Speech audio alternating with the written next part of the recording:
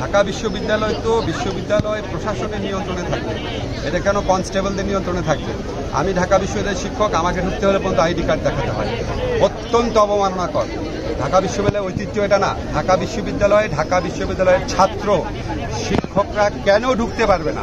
কেন এখানে পুলিশি প্রহরা থাকবে এটা আপনারা বিশ্ববিদ্যালয় প্রশাসনকে জিজ্ঞেস করেন। এটা অত্যন্ত অবমাননাকর।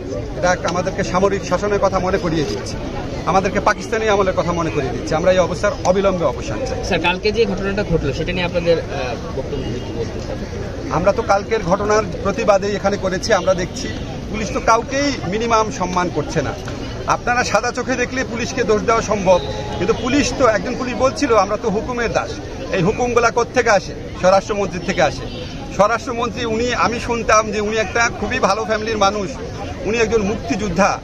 আমার খুব দুঃখ লাগে যে যেভাবে ছাত্রদেরকে নির্যাতন করা হচ্ছে, গ্রেফতার করা হচ্ছে, যেভাবে আটক করা হচ্ছে, এবং যেভাবে এজাহারের মধ্যে আপনি বিশ্বাস করতে পারেন, এ তো গোয়েবেলসকেও হার বানিয়েছে গুলি করল পুলিশ, ছাত্রলীগ, যুবলীগ। এখন সন্ত্রাসীরা বলে ঢুকে আমাদের আবু সাইদ এবং অন্যান্য ছাত্রদের মেরেছে। আমি স্বরাষ্ট্রমন্ত্রীর কাছে বলি, দেখেন, আপনি একজন মুক্তিযোদ্ধা শুনেছি, আপনি একটা ভালো ফ্যামিলির মানুষ শুনেছি। আপনার কি একটু খারাপ লাগে না? আপনি পদত্যাগ করেন না। আপনি তো অনেকদিন মন্ত্রী ছিলেন। আপনি মানুষের হৃদয়ে থাকবেন যে এত মিথ্যাচারের, এত জুলুমের সভাপতিত্ব আপনি করেন না।